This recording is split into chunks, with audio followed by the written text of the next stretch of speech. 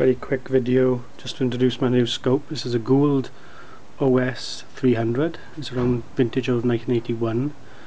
Um, it replaces my old OS 3000 for the moment because I've developed a fault in the high voltage section um, which coincidentally is down there at the moment. It's not be for the bin yet but it's uh, not healthy. It's not just blowing, displaying anything on the CRT.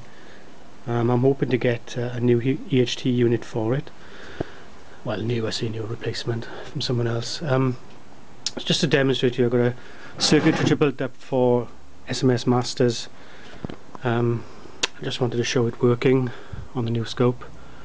I've actually got this in bright line mode at the moment so this the trace always appears on it doesn't disappear like it did on the old one.